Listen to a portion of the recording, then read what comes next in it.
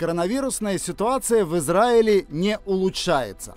Показатели, которые выводили страну на первые места в мире, остаются дальше и дальше позади. Цифры говорят сами за себя. Впервые за последние 4 месяца число зараженных коронавирусом в Израиле приблизилось к отметке в полторы тысячи человек в сутки. Специалисты прогнозируют достижение показателя в 2000 новых случаев уже в начале следующей недели и дальнейший суточный прирост. Вот какова динамика начала и середины минувшей недели. 17 июля – 1117 человек. 18 июля – 430 человек. 19 июля – 829 человек. 20 июля – 1372 человека. 18-19 июля – период поста 9 ава, когда анализы были резко сокращены.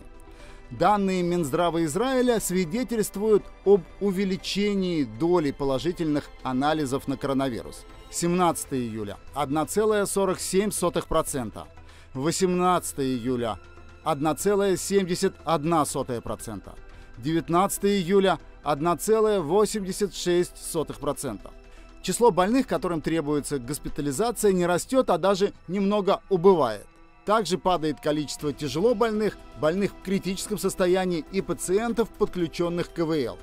Почти не увеличилось за последние дни и число летальных исходов. Массовая вакцинация помогает противостоять новой болезни.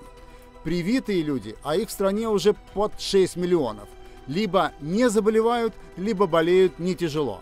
Подавляющее большинство заразившихся в июле – это израильтяне, не прошедшие вакцинацию, и дети. Минздрав разрешил больничным кассам вакцинировать граждан третьей дозой.